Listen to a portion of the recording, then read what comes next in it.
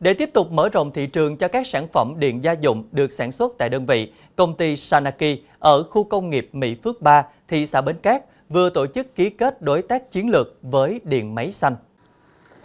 Hướng hợp tác của hai đơn vị Sanaki và Điện Máy Xanh là phân phối sản phẩm máy lọc nước Sanaki cùng các sản phẩm điện gia dụng tại chuỗi siêu thị Điện Máy Xanh. Sản phẩm máy lọc nước Sanaki sẽ được phân phối tại hệ thống siêu thị Điện Máy Xanh trên toàn quốc với mức giá tốt cùng ưu đãi hấp dẫn.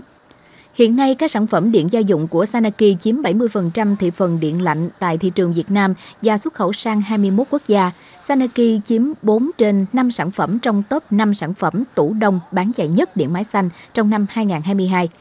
Sanaki rẽ sang ngành hàng máy lọc nước với những công nghệ nổi bật, đó là dòng máy lọc nước RO có nhiều tính năng nổi trội hơn, gồm trang bị 11 lõi lọc để cho ra dòng nước tinh khiết nhất và bổ sung khoáng chất làm ngọt nước, diệt khuẩn lên đến 99,99% và uống được trực tiếp.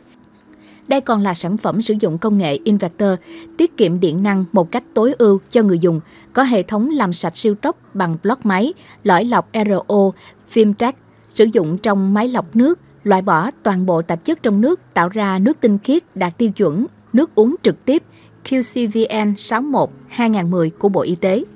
là nhà bán lẻ với mạng lưới cửa hàng phân bổ rộng rãi trên toàn quốc với 2.000 điểm bán. Sự kết hợp với điện máy xanh của công ty Sanaki góp phần đưa sản phẩm máy lọc nước phủ rộng hơn trên thị trường, đem đến cho người tiêu dùng những sản phẩm chất lượng với giá bán cạnh tranh.